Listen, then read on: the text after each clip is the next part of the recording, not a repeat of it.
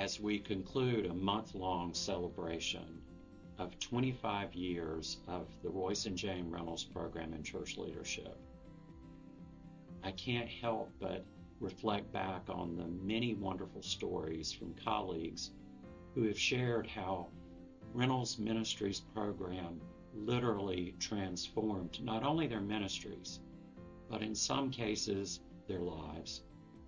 We hear stories about how people gained self confidence, how people learned that through some of the 360 feedback, how they were perceived, so therefore they were able to respond more efficiently and effectively as they move forward.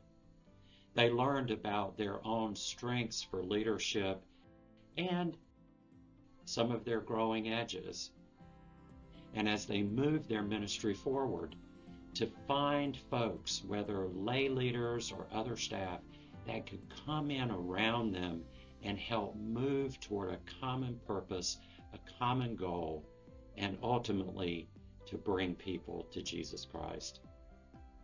It's such an honor and a privilege for the United Methodist Foundation to live out the vision and the dream of Royce and Jane Reynolds through the program in church leadership.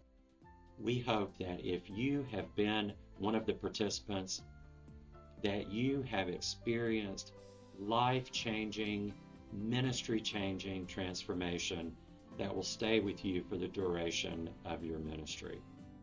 For those of you that may have yet to experience it, we hope that if the time arises in the future that you will seriously consider it because we consider this program to be a way in which the United Methodist Foundation fulfills its mission of building the church for generations to come.